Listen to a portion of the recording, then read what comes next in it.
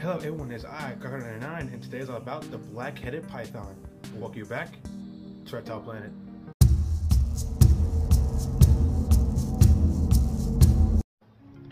Alright, the black-headed python, python, this is a very large python species, basically inhabiting Australia, basically northern Australia, central Queensland, and western Australia, basically inhabiting woodlands as well as grasslands. Now, Black-headed pythons can get rather big. They can go up to around 6 10 feet long. It's a very big python. They can be a little bit of a heavy body snake, but they are very kind of like on the thick side, also on the slender side, helps them maneuver through their environment a lot faster. Also getting basically hiding any kind of crevice that they feel if see fit. Now, black-headed pythons do get their name because an obvious black head, basically going from the head to the, basically to to the neck but they also have a kind of like a uh, cream to red, almost kind of like a brown coloration with basically dark bands going down from down the length of the body. And like I said, the other it's in the black head, basically gives them their name. And because of this, that because when they are hiding in basically like in, say like in a tree trunk and it's very dark, you can't really see that. That black head helps them camouflage themselves basically in that dark area. That way, it's not really that easy this easy to see them. So Black-headed pythons are nocturnal, so they will be prowling for their prey late at night. Now, basically the primary target will be basically be reptiles, birds, as well as mammals. So, like anime pythons, they basically wait for their prey to come to them.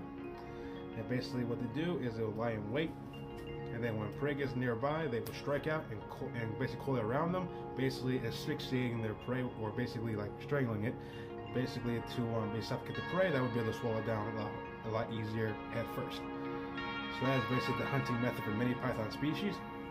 Now females can go to, can basically have up to around close to about 10 eggs in total. So not too many eggs for a breeding female, but it's basically good enough. But on the sad part, for many snake species, like 1% of snakes do want to make it to adulthood.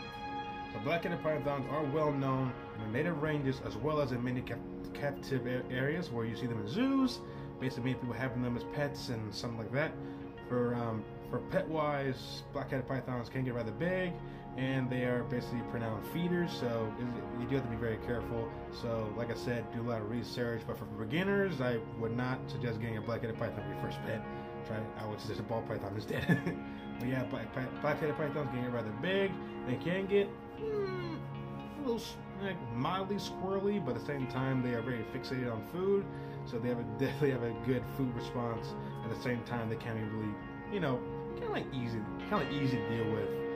So if you do plan on getting one as a pet, I would definitely advise on therefore more advanced people, advanced owners rather than beginners.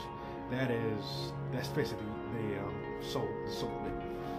Yeah, they're very neat snake species. Basically, nice coloration, very unique pattern to them, and they do have basically a nice little like the environment, keeping the environment stable, and a population under control.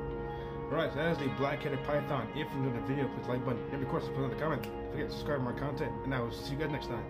See ya. Hey, don't forget to subscribe to my content, follow me on social media, and I'll see you guys next time. Bye.